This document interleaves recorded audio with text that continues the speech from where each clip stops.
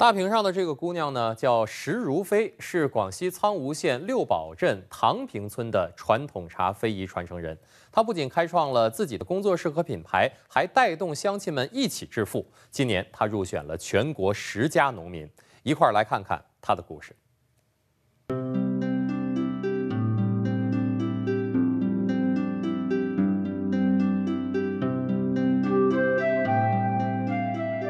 原种、原产地、原生态、原工艺、原仓储啊，这个原则来做茶。作为一个六堡茶的非遗传承人，意味着我肩上的责任会更加的重大。六堡茶最早发源于广西梧州六堡镇，自从记事起，石如飞就整天待在父母经营的茶厂。直到二零零六年，他决定继承父业，开始学习种茶制茶。所以那时候我们做的六堡茶是没有我们说所谓的这个标准可言的，反正我爱怎么做就怎么做。过去村里农民基本都以种茶制茶为生，标准不统一，质量不稳定，卖不出好价钱。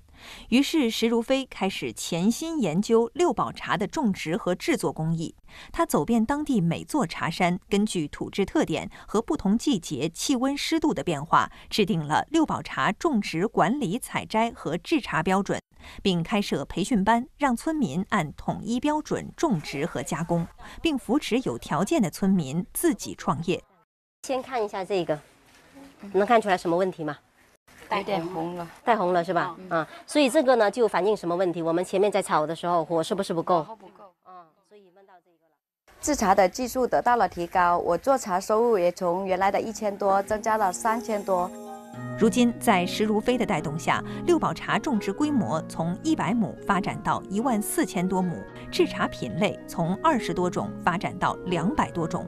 十七年间，石如飞累计培训茶农六千多人次，依靠茶产业，唐坪村每户每年增收三千多元。